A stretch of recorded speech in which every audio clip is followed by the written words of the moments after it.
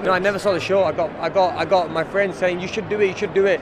Get people to see the real side of you, and I was like, all right, then I'll check it out. When I went there, I thought, I honestly thought that we're going to be sleeping in hotels, we're going to be looked after, but guess what?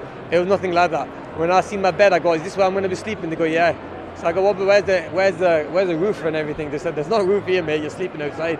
So boxing then next year, Yeah. right? next year's a big year for me. So next year's a very big year for me. Uh, I took a year out because of my hand operation. I'm 31 now, top of my game, uh, still in the top 10 in the world, and it's all about getting the big fights in and winning another world title before I call it a day. So it's, it's a very big year for me next year, and I'm going to be fighting, fighting a lot more, a lot often, and hopefully get a fight in the UK because it's been a couple of years now.